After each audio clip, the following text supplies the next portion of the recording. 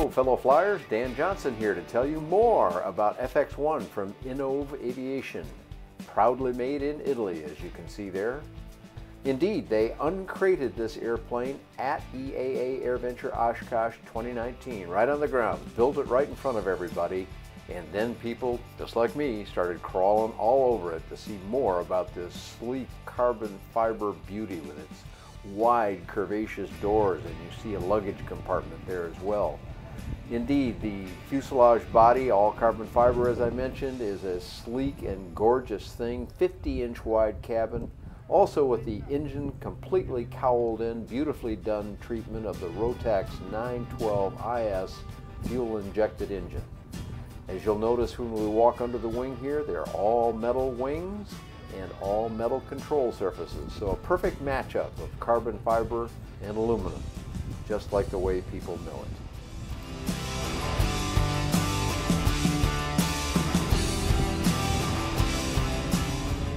It looks vaguely familiar to you, well, it probably should because this design significantly looks like a Flight Star. And indeed, this design the Flight Star, and other airplanes all evolved from a Swiss designer named Hans Gygax, who sort of created this basic shape and look.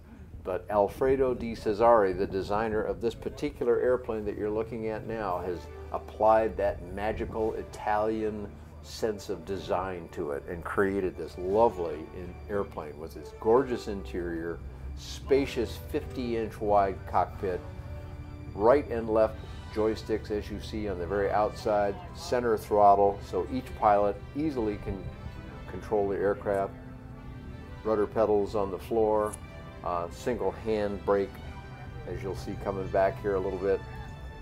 The airplane is just a gorgeous production, like you might expect from anyone in an Italian design. But now, the news is that this handsome airplane, seen here at Oshkosh, went right down to Mount Vernon, Illinois, where the Midwest LSA Expo happens, and they proceeded to just go crazy and get this airplane all put back together again, had the FAA come on out and inspect it, and so here you are, folks. This is special light sport aircraft number 150, and it has gained its FAA acceptance now. There's the acceptance team that won this down at Mount Vernon where airport manager Chris Collins took very good care of them and yet was extremely proud that the inaugural flight of this very handsome airplane was at the Midwest LSA Expo Airport. That's about an hour, about an hour's drive east of St. Louis, and frankly, I hope you'll come there and be part of that show because it's a good time. Let's conclude here with a few final looks of the FX1 from Innov Aviation.